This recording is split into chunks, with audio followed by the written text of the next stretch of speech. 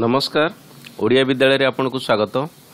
ଭାରତରେ ଆମେ କହିପାରିବା କାଲି ଯେଉଁ ସକାଳେ ପାଞ୍ଚଟା ରାଫେଲ ଡିପ୍ଲୟ ହେଲା କେଉଁଠି ନା ହରିୟାଣାରେ ଆମ୍ବାଲା ଏୟାର ଷ୍ଟେସନରେ ତ ଯେତେବେଳେ ପାଞ୍ଚଟା ଆମେ କହିପାରିବା ରାଫେଲ ଡିପ୍ଲୟ ହେଲା ତ ଭାରତର ମନୋବଳ ବହୁତ ବଢ଼ିଯାଇଛି ଏବେ ବର୍ତ୍ତମାନ ଷ୍ଟେଜରେ କାହିଁକିନା ପୁରା ବିଶ୍ୱକୁ ଜଣାଅଛି କି ଭାରତ ଗୋଟେ ସେଇ ଲେଭେଲରେ ଆସିକି ପହଞ୍ଚି ଯାଇଛି କି ଯେକୌଣସି କଣ୍ଟ୍ରି ସହିତ କିମ୍ବା ଦେଶ ସହିତ ଭାରତ ଏବେ ଟକ୍କର ଦେଇପାରିବ।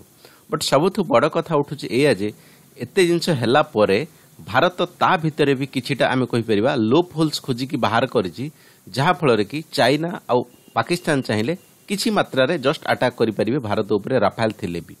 ବଟ୍ ବର୍ତ୍ତମାନ କଥା ଉଠୁଛି ଏମିତି ଭାରତ କ'ଣ କରିବା ଦରକାର କି ଯେମିତି ରଷିଆରେ ଆକ୍ଚୁଆଲି ଗୁପ୍ତଚର ଭାବରେ ସେନା କାମ କରୁଛନ୍ତି ଯଦି ଭାରତ ସେମିତି କରେ ନିଶ୍ଚିତ ଭାବରେ ଚାଇନା ପାକିସ୍ତାନ ଯେକୌଣସି ବଡ଼ ଦେଶ ବି ଚାହିଁବ ଭାରତ ସହିତ ଲାଗିବା ପାଇଁ ହଜାର ଥର ଭାବିବ କେବେ ଭାରତକୁ ଆଟାକ୍ କରିବା ପାଇଁ।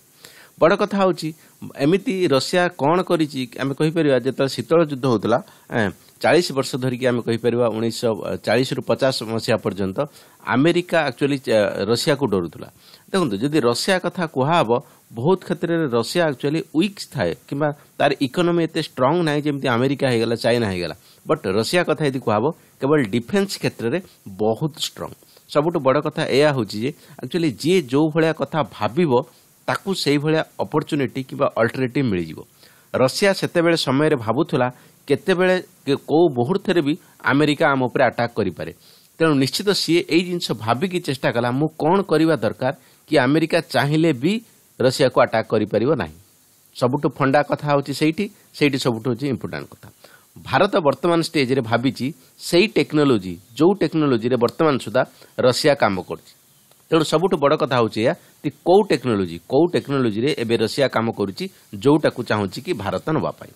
ଓକେ ମୁଁ କହୁଛି ଆଉ କିଛି ନୁହେଁ ମୁଁ କହୁଛି ଡେଡ୍ ହ୍ୟାଣ୍ଡ କଥା। ୟେସ୍ ରଷିଆର ଡେଡ୍ ହ୍ୟାଣ୍ଡ ଆପଣ ଦେଖିପାରୁଥିବେ ଆ ଭିତରେ ଆକ୍ଚୁଆଲି ମିସାଇଲ୍ ସବୁ ଛୁପା ହେଇକି ଲୁଚା ହେଇକି ରଖାହେଇଛି ଓକେ ଯଦି ଆମେ କହିବା କେତେବେଳେ ବି ଆମେରିକା ଆଉ ରଷିଆ ଭିତରେ ଯୁଦ୍ଧ ଷ୍ଟାର୍ଟ ହୁଏ ଯେକୌଣସି କୌଣସି ମୁହୂର୍ତ୍ତରେ। କାରଣ ଅଲରେଡି ପଚାଶ ଚାଳିଶ ବର୍ଷ ଯୁଦ୍ଧ ଚାଲିଛି ଶୀତଳ ଯୁଦ୍ଧ ମାନେ ସବୁବେଳେ ଆମେରିକା ରଷିଆ ଭିତରେ ଏଇଥିପାଇଁ ଥାଏ ଯେ ଆମେରିକା ଗୋଟେ ଡେମୋକ୍ରାଟିକ୍ ରଷିଆ ଗୋଟେ କମ୍ୟୁନିଷ୍ଟ କଣ୍ଟ୍ରି ତେଣୁ ସେଇଥିପାଇଁ ଆମେରିକା ସବୁବେଳେ ଚେଷ୍ଟା କରିଛି ରଷିଆ ଉପରେ କିଛି ନା କିଛି ଆଟାକ୍ କରିବା ପାଇଁ। ବଟ୍ କରିପାରୁନାହିଁ କାରଣ ରଷିଆ ପାଖରେ ଡେଡ୍ ହ୍ୟାଣ୍ଡ ଅଛି। କ'ଣ କଥା କ'ଣ? ଡେଡ୍ ହ୍ୟାଣ୍ଡ କାହାକୁ କୁହାଯାଏ? ଦେଖନ୍ତୁ ସବୁଠୁ ବଡ଼ କଥା ହେଉଛି ଆପଣ ଦେଖିପାରୁଥିବେ ଏଠି ରଷିଆରେ ମସ୍କୋ ସହର ଏଠି ଆମେରିକାର କ୍ୟାପିଟାଲ ଆମେ କହିବା ୱାସିଂଟନ୍ ଡିସି ଓକେ ୱାସିଂଟନ୍ ଡିସିରୁ ଆମେ କହିପାରିବା ଆରାମସେ କ୍ଷେପଣାସ୍ତ୍ର ବୋମା ନହେଲେ ଯେକୌଣସି ଆମେ ମିସାଇଲ୍ ଛାଡ଼ିବା ନିଶ୍ଚିତ ଭାବରେ ମସ୍କୋରେ ପହଞ୍ଚି ପାରିବା ଆହୁରି ବର୍ତ୍ତମାନ ଷ୍ଟେଜ୍ରେ ଇଜିଅର ଆମେରିକା ଆମେ କହିବା ତାର ନାଭାଲ ବାସ୍ ଏଇଠି ଅଛି ଇଣ୍ଡିଆନ୍ ଓସେନ୍ରେ ଅଛି ପ୍ଲସ୍ ଜାପାନରେ ଅଛି ସାଉଥ କୋରିଆରେ ଅଛି ତ ଏସବୁ ଜାଗାରୁ ଆହୁରି ରଷିଆକୁ ପାଖ ହେବ ଆକୁ ଉଡ଼େଇବା ପାଇଁ। କଥା ହେଉଛି ଯଦି କେତେବେଳେ ଏମିତି ସିଚୁଏସନ୍ ଆସେ ଆମେ କହିବା ରଷିଆର ସବୁଠୁ ଯିଏ ବଡ଼ ହେଇଗଲେ କିଏ? ପ୍ରେସିଡେଣ୍ଟ ହେଇଗଲେ ପ୍ରଧାନମନ୍ତ୍ରୀ ହେଇଗଲେ ଆର୍ମି ଚିଫ୍ ହେଇଗଲେ ସେମାନେ ସମସ୍ତେ ରହୁଛନ୍ତି କେଉଁଠି ନା ମସ୍କୋ ସହରରେ ତାଙ୍କର କ୍ୟାପିଟାଲରେ ରହୁଛନ୍ତି। ଆମେରିକା ଯଦି ପ୍ଲାନିଂ କରିକି ଦେଖନ୍ତୁ ବହୁତ ଦିନର ଶତ୍ରୁ ମାନେ କିଛି ବି ପ୍ଲାନିଂ ହେଇପାରେ। ଯଦି ଆମେରିକା ପ୍ଲାନିଂ କରେ ପୁରା ମସ୍କୋ ସିଟିକୁ ହିଁ ଉଡ଼େଇ ଦିଆଯାଏ ତେଣୁ ସେଥିରେ ଅଭିୟସଲି ପ୍ରାଇମ୍ ମିନିଷ୍ଟର ମରିବେ ପ୍ରେସିଡେଣ୍ଟ ମରିବେ ପ୍ଲସ୍ ଆର୍ମି ଚିଫ୍ ମରିଯିବେ। ତେଣୁ ଏସବୁ ଜିନିଷକୁ ଆ ପର ଷ୍ଟେପ୍ଟା ଯେଉଁ ଆମେରିକା ଉପରେ ଡିସିସନ୍ କ'ଣ ନିଆ ହେବ କି ନାହିଁ ଭାବିଲା ବେଳକୁ ଆମେରିକା ସବୁ ଜିନିଷ ଡେଷ୍ଟ୍ରୟ କରିଦେଇଥିବ କାହାର? ରଷିଆର। ତେଣୁ ରଷିଆ ସେହି ସମୟରେ ଏଇଆ ପ୍ଲାନିଂ କରିଥିଲା କି ଆମର ଅଟୋମେଟିକ୍ ମିସାଇଲ୍ ରହିବ ଅଟୋମେଟିକ୍ ମିସାଇଲ୍ ରହିବ ଆ ଭିତରେ ରହିବ ମାଟି ଭିତରେ ପୋତା ହେଇ ରହିବ। ଯଦି ଆମେରିକା ଏମିତି କେବେ ଦୁଃସାହସ କଲା କି ରଷିଆ ଉପରେ ଆଟାକ୍ କରିବା ପାଇଁ ଏଇଠୁ ଡାଇରେକ୍ଟ ମିସାଇଲ୍ ଯିବ ଆମେରିକାର ପୁରା ସିଟିକୁ ନଷ୍ଟ କରିଦେବ। ତେଣୁ ଆମେରିକା ଏଇସବୁ ଜିନିଷକୁ ଯେତେବେଳେ ଜାଣିଗଲା କି ରଷିଆ ଏମିତି ଭାବରେ ଲୁଚେଇକି ରଖିଛି ଯଦି ଆମେ ଆଟାକ୍ କରୁ ରଷିଆର କୌଣସି ବି ସହରରେ ସିଏ ଅଟୋମେଟିକ୍ ଆକ୍ଟିଭ୍ ହେଇଯିବ କ'ଣ?